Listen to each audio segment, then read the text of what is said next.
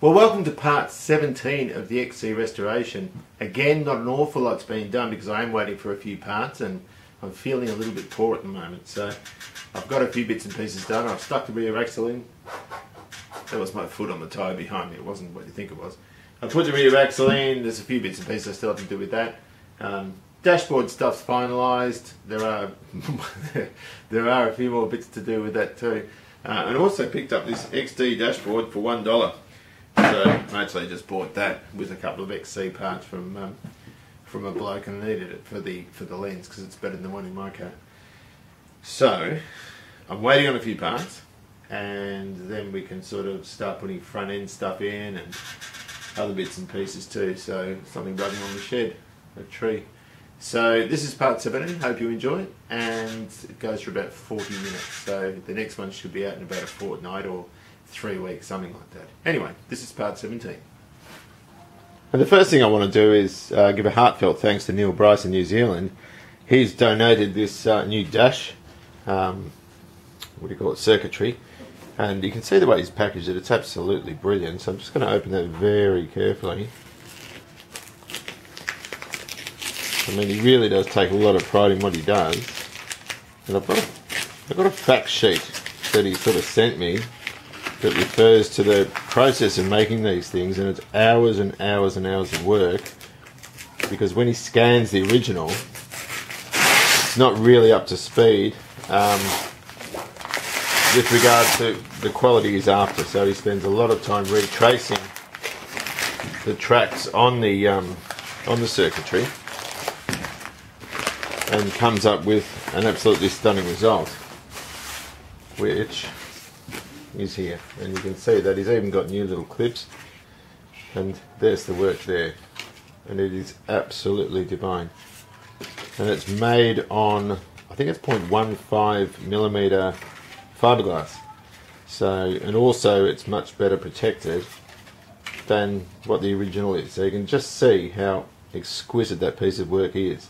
Now, that's $150. He advertises them on eBay, and there's there's no better product. And I, I don't even think there's another product available. And he includes all the pinouts. I mean, the, the problem with buying remanufactured parts is you don't get instructions with them, and quite often they're not to this standard. I mean, that really is uh, indicative of the, the fact that he's at the top of his game. So, Neil, thank you very, very much for that.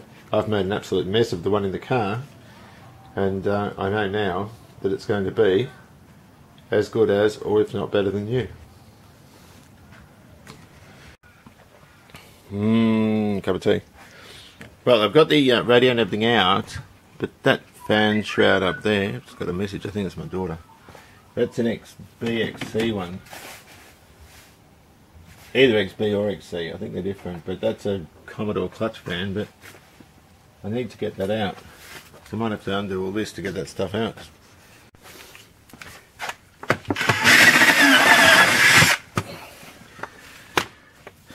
I put this here, I screwed up against the wall and built this thing. It's got a lot of weight on it, I don't want to weaken this, but I can't get to the top screw where I mounted the shroud. So I've just done it the lazy way. Because before I get the car out, go, eh? I want to get this out. I don't know which car this was off. Oh, actually it might be an XC one because it's got that that thing there. Oh wow, look at that. That is so freaking cool. Excellent, I can use that. Although, it looks as though it might have. It's got the clips down the bottom. Oh, that's mad. Wow. Cool. I'm happy. I got myself a shroud. I thought it might be too narrow. I've just got to see if the radiator's too narrow for the car. Well, it's time to pop this axle in. I haven't changed the bearings and seals in the ends yet, or the axle seals and bearings, because it's going to be easier in the car to do that. Got our springs with a couple of new bushes in, new bolts, the front spring mounting bolts, the shackles, new, um, what do you call those? They're the big bushes that go sort of here that is trapped in by these little guys down here. Um, I knew what they were, but I'm thinking of other things at the moment, so I can't remember. And of course, the shackle bush is there. Um, this car is a little bit GT. Look at that. Wow. I think they're all a bit like that. So uh, we'll get busy and we'll start putting that in now. I'm going to flick this over and it's going to want to sort of fall back so because of the weight of this. So I can either put a bit of wood under there and I'll just get a large screwdriver and cable tie it over. Like that. And just this is only while I put one spring on. Once one spring's on um, it'll hold. The weight of the spring will hold it where I want it to put the other spring on. I'm not that too much um, and that'll hold it there so we can just drape the springs over and we're good to go. Right, well there's already an issue. We've got these handbrake brackets here. And if I put this one correct way, it's going to interfere because that's the original XC type. Now I'm not going to take those off, I'm going to leave them there because eventually I will get a 9 inch rear axle. So I might have to put these like that, which is less than ideal, I think. I can put it like that, that might be problematic. Even there might get in the way. I'm not really sure what to do with that. I might try that actually. What if I go that way? I think it's still going to interfere. So your handbrake cable comes in from here. Um, that's going to get in the way as well. So the only way to put it really is on that side. So that when your lever comes in, it's not great, by any stretch, but it looks like the only option I've got for now.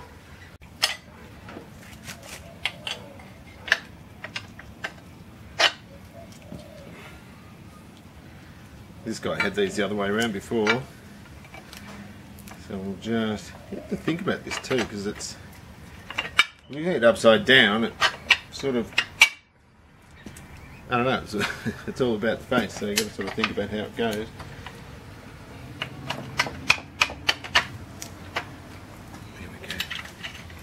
Just going to make sure these U-bolts stay in perfect, or perfectly parallel when we tighten them up. I'm not going to tighten them fully because there might be a little bit of movement when I put it in. It might be a bit like that, so I need to be careful of that.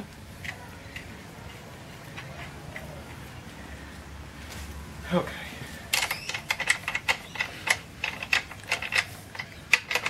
We just have to, when we tighten them, just, as I said, sort of keep an eye on these to make sure they're parallel. And they pull down straight. Still not ready to. I'll just take that up a bit more.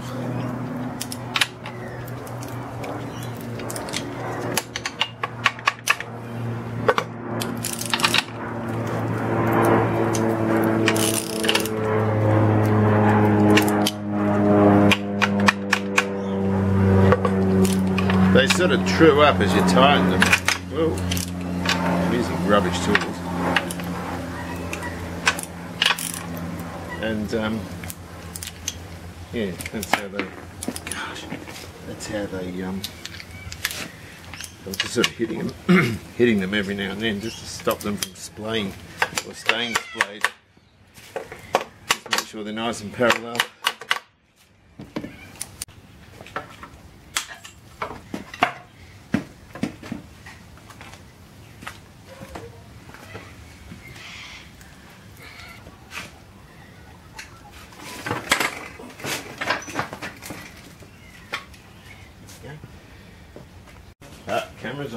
Can't bark, right?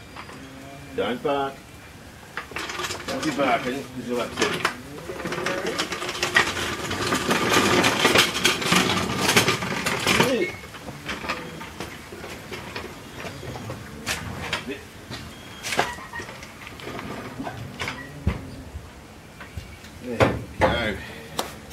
I'm just going to take it up a little bit. I'm just doing it with my foot while I lie here. I'm sort of lying next to the camera and then wiggle it in. There we go. And I just want to hold that there with a screwdriver and I'll in from the other side before I put the bolt in. I could probably even get the bolt in there, but I'll just put that in for now, just to hold it there, and I'll do the other side, put the bolt in from the other side, then of course it's all going to be stable then.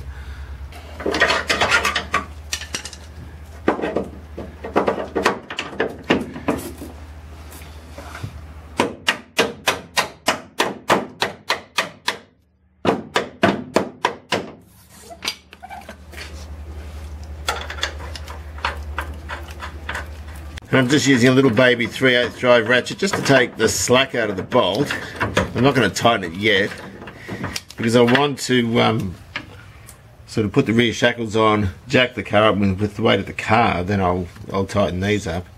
And of course now we can just sort of jack it up, put the shackles on, it'll stay in one spot.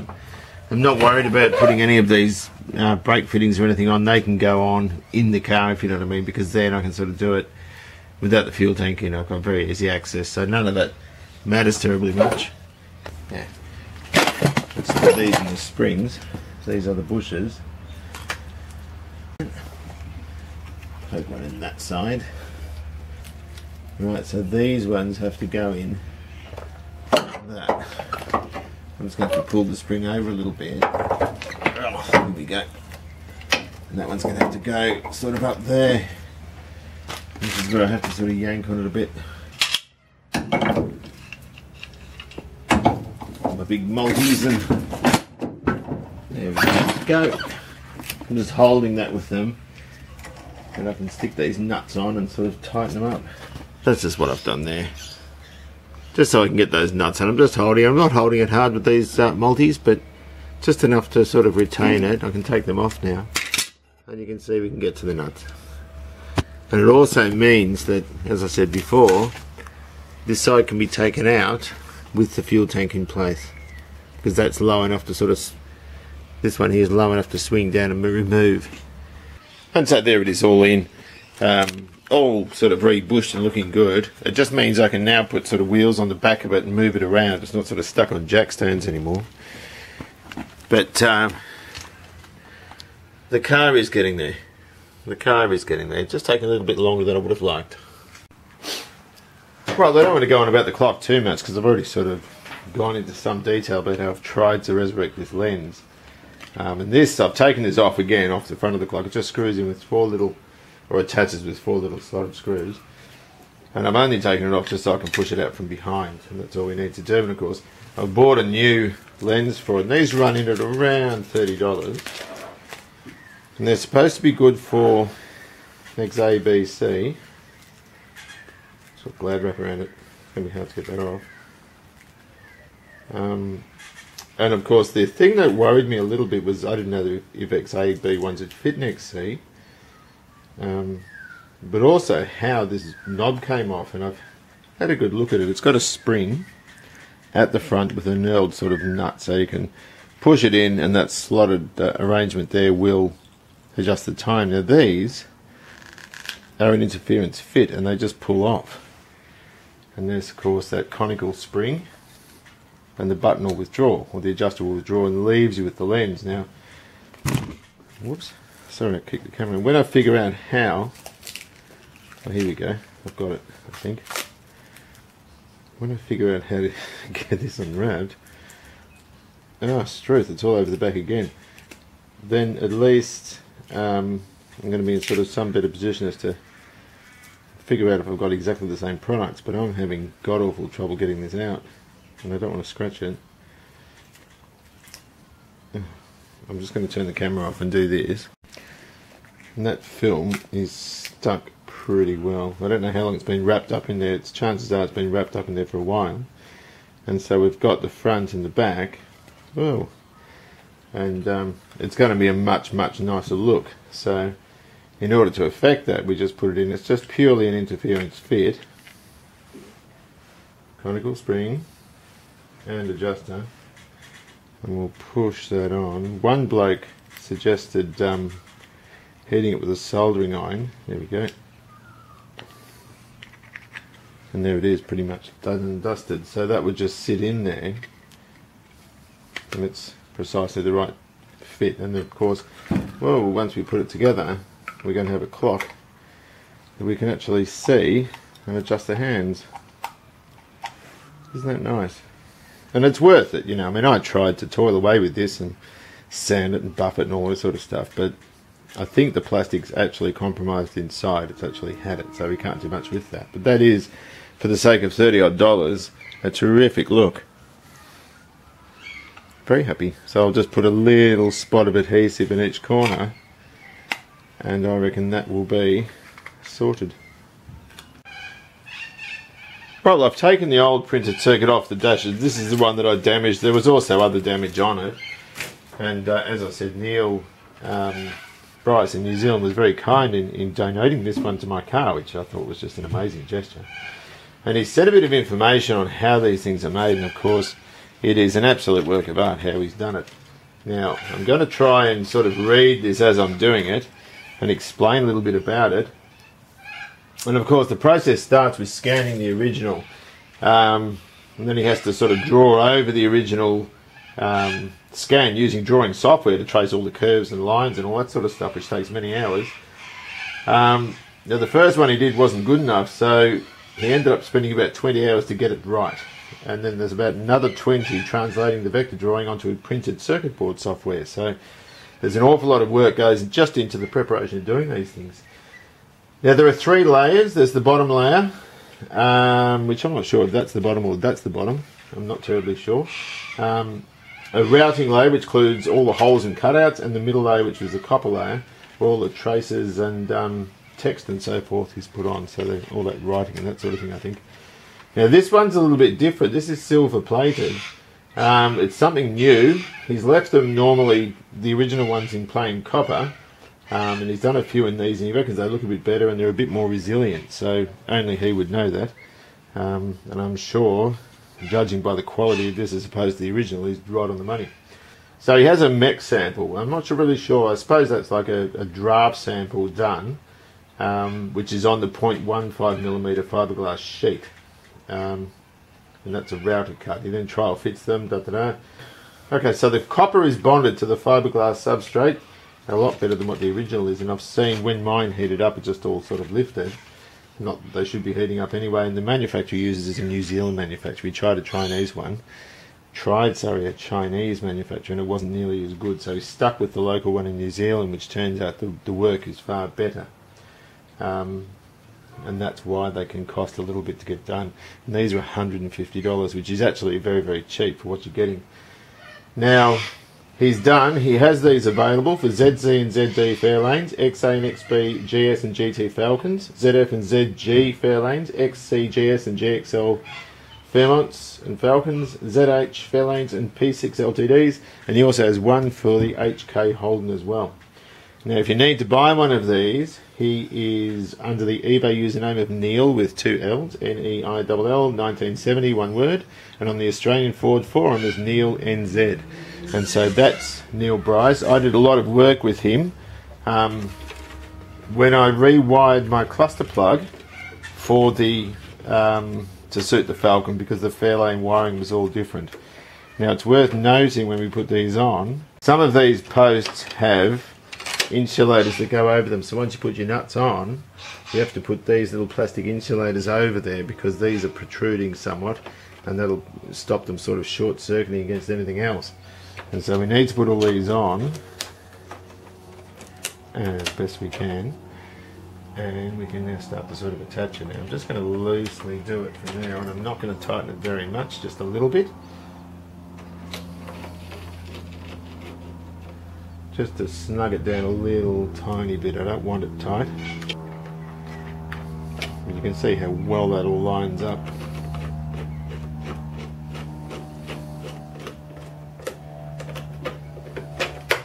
So I'll go ahead and do that and then I'll turn the camera back on and talk a bit more I guess. Some of the posts are very short like these ones, they don't have an insulator on them, these ones do and these ones down here do. And he even includes in the kit, he even includes somewhere these little guys here, and these are just locating clips that go, one I think goes here, and the other one's down yonder there. So those two holes there have these two clips to push in, and that'll hold that in the right orientation for the plug when we put the plug on.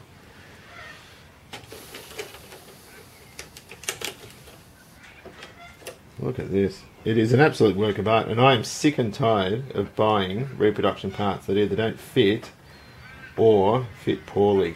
And the other thing is they never, I think I mentioned in the intro, they never ever come with fitting instructions.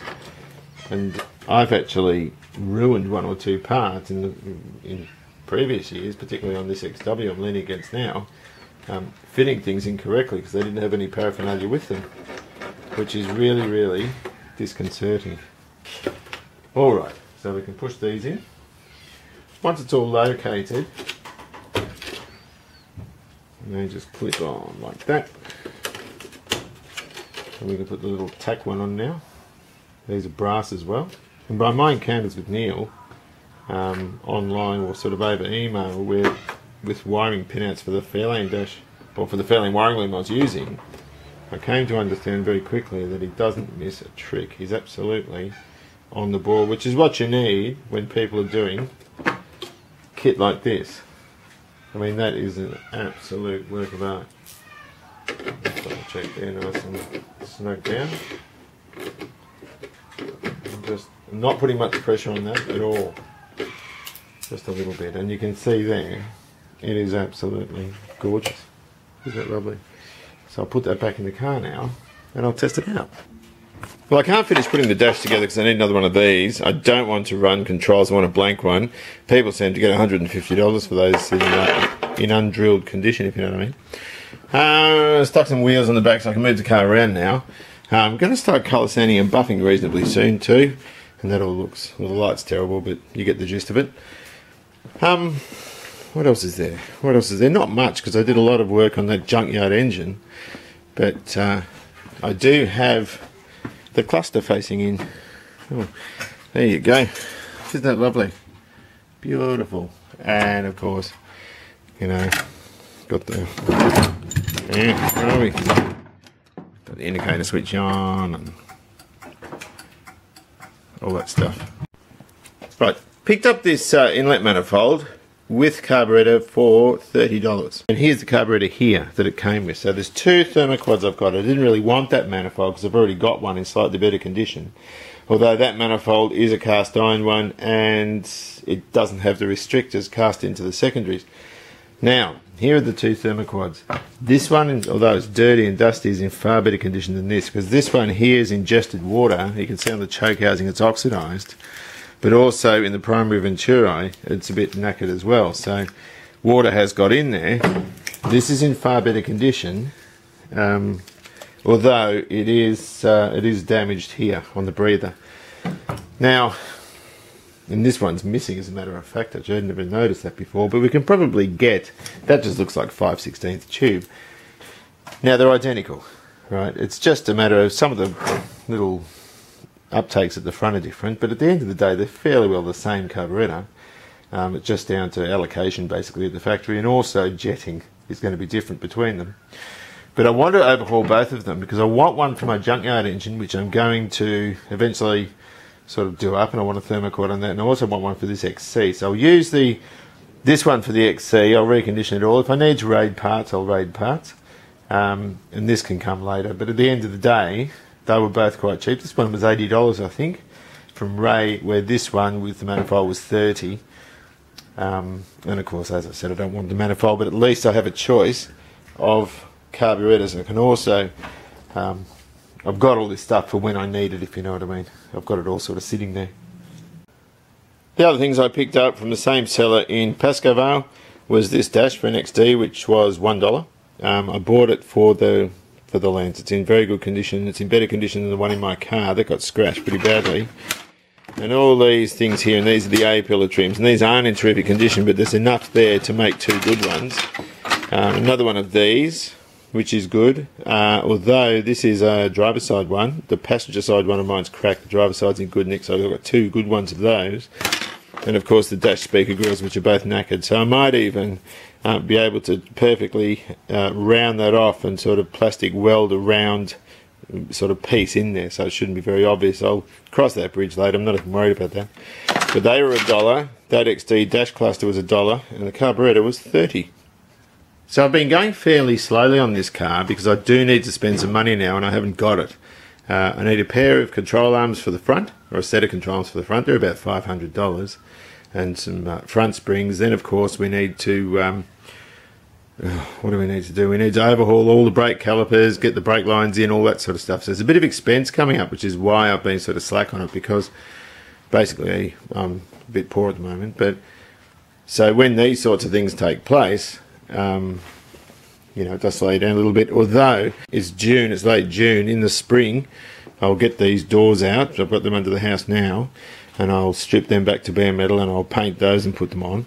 Um, the front ones might need a bit of welding doing to them. The back ones, from what I've seen, look absolutely immaculate. So once it's got doors on, um, I can have glass put in and, you know, I can start on the interior. But once all that sort of starts coming to fruition, well, then it's going to be um, it's going to be much better and move ahead a bit quicker. Um, I'm in two minds about my engine block. Here's my 351 engine block.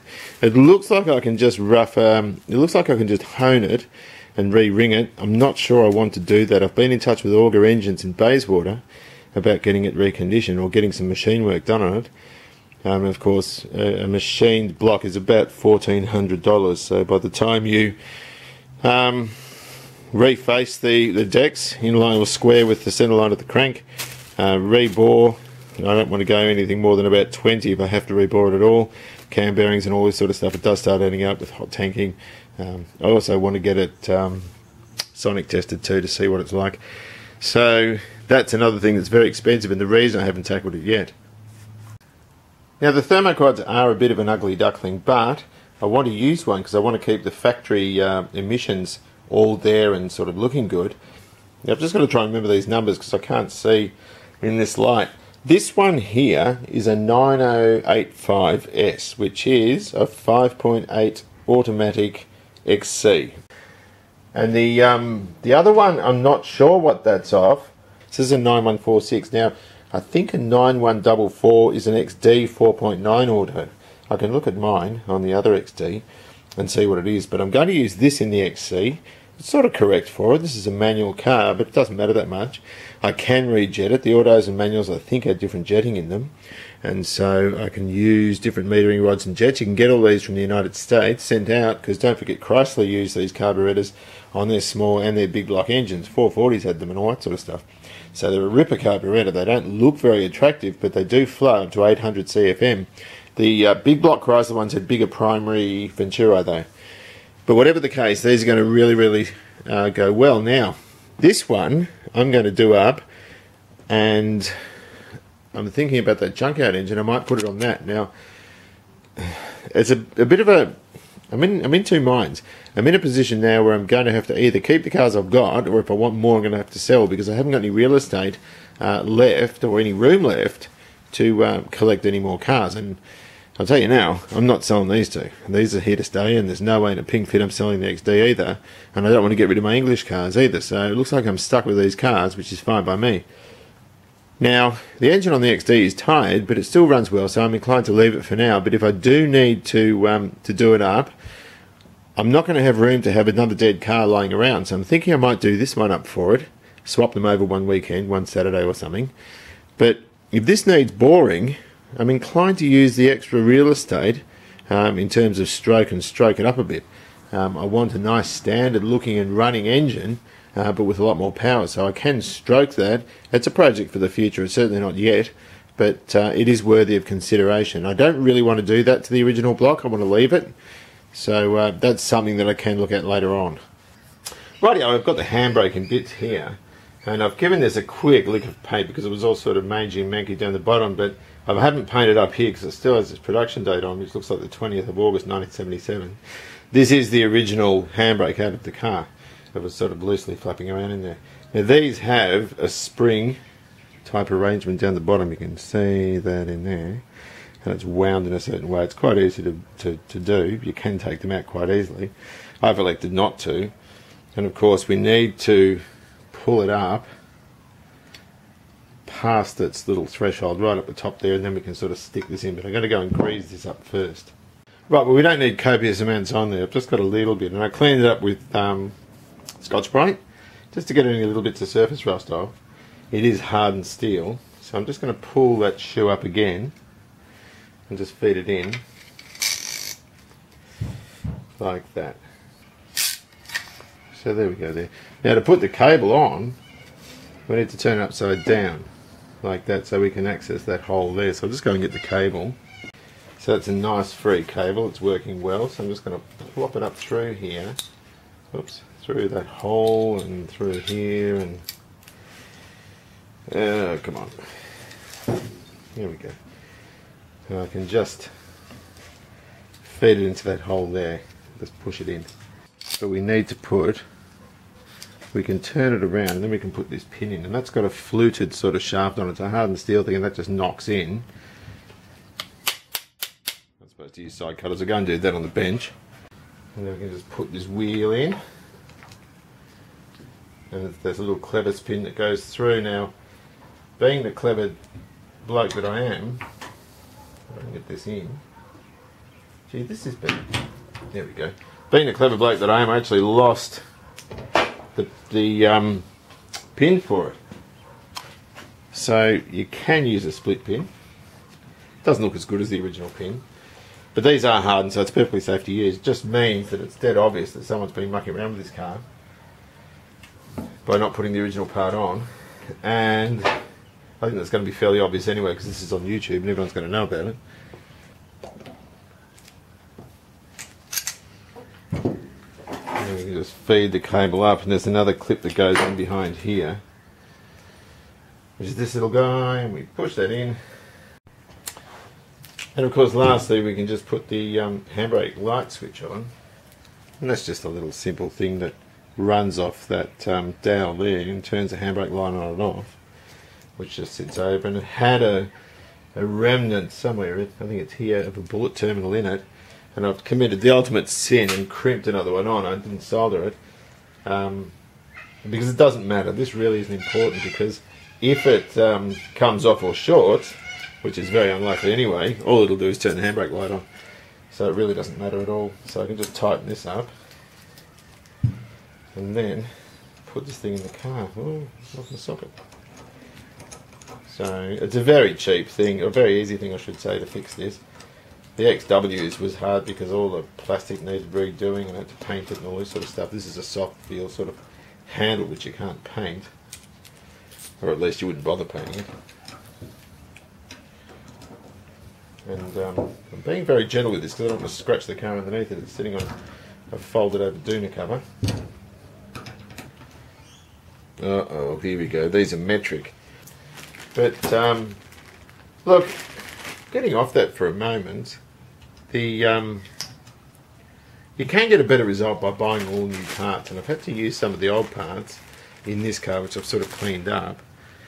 Um, but the problem I have are people that ask stupid amounts of money for some of these parts that they're trying to peddle, and I refuse to pay it. So, in some instances, I'll put parts on that aren't, uh, you know, 100%, as long as they function 100%. If they don't look 100%, I don't care until I find those right parts. And I'm looking for tail lights at the moment. Um, there's lots of station wagon ones advertised online. There's no sedan ones that I can find. And also the clocks around that has holes around it for a fader and electric aerial. And I'm not going to put either of those in, I don't think. I just want a bare one. And the last one I saw went for $160. So I'm sort of waiting at the moment. But I've known people selling parts for these old cars, and they're not even car enthusiasts. A lot of them are just um, out to make a quid. So I've got to find some 8 by 1.25 metrics for that. I'll have a look. They're not metric, they must be 5 16 fine. Yeah, they are. Mm-hmm. 5 16 fine threads. Alright then, so I'll put them on. I'll put that on, I should say. Get a couple of those. Alright.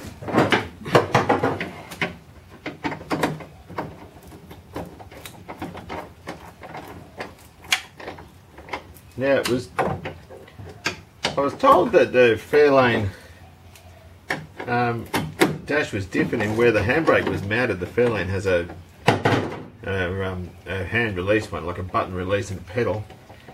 But it was just a bracket there I took off. The screws weren't long enough, the retaining hardware wasn't long enough, so I've used longer ones. But all things considered, it seems to be um, fitting quite well. That's cool. Be happy with that. I've already tightened the uh, ones on the firewall. You tighten those first to pull it against the firewall, then you nip these up and you're good to go. Well, I fitted much of the dash out now. This is no good. I mentioned this before. It's got the holes. Don't want the holes. Want a nice one, a nice new one, or at least one that hasn't been drilled. Um, got the wheel on, got the column in, got the indicator switch on. I've got an idea to recode that. I'll talk about that later. I'm just going to um, just do a bit of testing. So I'll turn the ignition switch on. So I said the handbrake light's working. Yep. Beautiful. If I go right,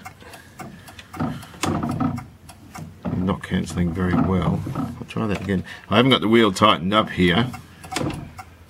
Yeah, not very good. That's cancelling. Dash light's working.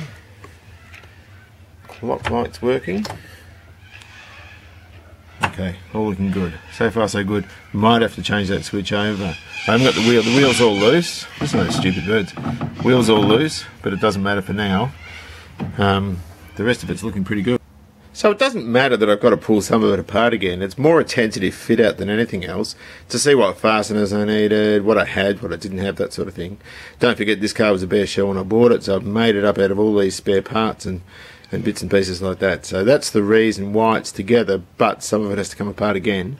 I won't show putting it apart again, I've already sort of shown much of that, but that's the reason behind it. Well, I've got my manky old $10 seat from that bloke in um, Pascoe Vale. And Jason's got the interior. This is just a seat, a front seat sort of left over, and I'm not even fitting on very well.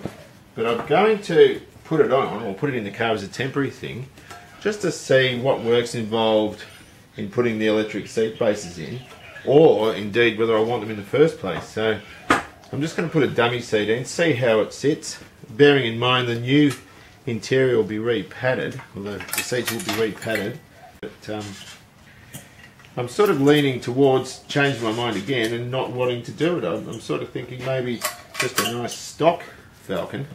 I've always preferred stock over custom and modified, but look, we'll, we'll suck it and see, see how it pans out and whether or not we want to bother with them. But um, I'll just sort of put these sheepskins over and I'll do the same to the squab and I'll sort of reassemble it.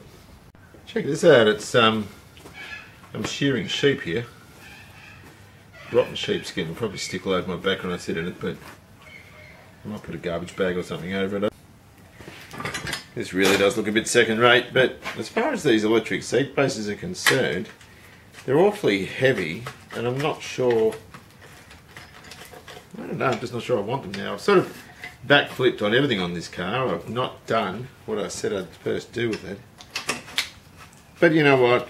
It's your prerogative to do that with an old car. You can sort of set them up the way you want. But the more I put this together, the more I want it to look sort of stock, factory stock, if you know what I mean. Without it being, even though it's not a proper original colour, I don't really care about that because I think the creamy white sort of is really age appropriate for an old classic. But I'm sort of chasing the classic look with it not so much the um, custom look, or at least I don't want it modified. Well, this is the left-hand seat. The runners are the other way around. The adjuster's here instead of on the other side, and so forth. But it is comfortable. And look, this is a sacked out old seat. It's rattling because I haven't got the steering column in yet, or this isn't tightened up. I've got great visibility, a bit of headroom. I suppose with re-padded seats, it's going to be a bit higher again, and I wouldn't want it any higher than that. So I'm actually really happy with the way it is.